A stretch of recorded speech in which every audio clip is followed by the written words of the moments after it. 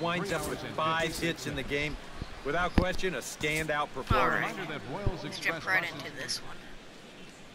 Both teams getting their final warm-ups in as we welcome you back to the MLB pregame show. First pitch of game two in our series is right around the corner.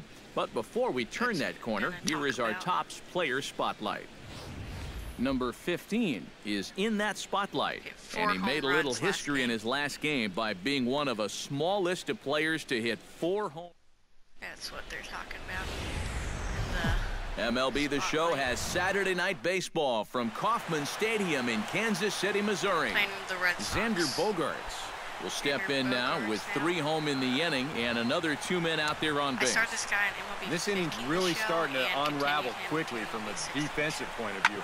This is where you need a nice pop-up in a big way. Scooped up, and oh, they will not get him at first as he's able to leg out the throw. Allen Craig gets a shot now with deuces all around. Two on, two out here in inning number two. Uh, Sent on the ground out to second. So then I could um, get to the majors And a bit of a high throw that time, but not much problem over there at first as that will end the inning. So two runs on two hits, no errors, and a couple of men left. On there, there are some good guys on this Number 15 will get his first shot now, coming off a big ball game last night in which he accounted for five runs batted in. Well, you know, he's been averaging at least an RBI per game over his last 10, so yesterday's performance shouldn't have come as any big surprise to anybody.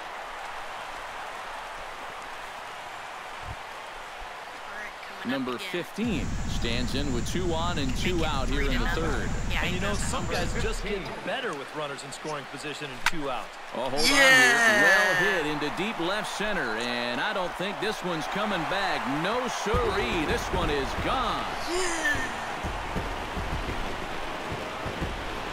Yeah. Yes. So a three-run shot to left center. 34 home runs run. now on the year. As they cut the gap a bit, it's now an 8-3 ball game. 436. So I hit a home run my last game against be Red thinking, Sox. There's how Red Sox fan. pitch like that, you know, that was in this situation? That thing was so right down the middle, it absolutely know, got it was, hammered, and he weird. knew it as soon as he left. Dustin Pedroia will dig Dustin in here with the bases Pedroia. loaded now and a chance to really do some damage. He's been tough to deal with this year. He's second on the team in RBI, so this is a golden opportunity. Ground ball to second. This could be two. And that's through. A base hit. And now he has some ah. trouble with it in center. And the run is in to score from second. The relay throw. And now they'll get an out at third base at least. But meanwhile, three All right, runs. they got him out at third base, but he should have had that. Digging in now, Allen Craig. He flew out in his last at-bat. Yeah, I don't have any hope in this team. Here's the 0-2. Of their pitching. Now a ball grounded to short. This could be two. Why, it's man? second Why? for one, and Come it's on. wide of the bag and right by him. Was that to me or the first baseman, man? Number 15 will step toward the box here, and as I he does, we flash you back to inning number really like three as you check out his three-run home run, a big blow early on. Hit hard to short. Ooh, he misplayed it. Who try was as that? he knocks it down.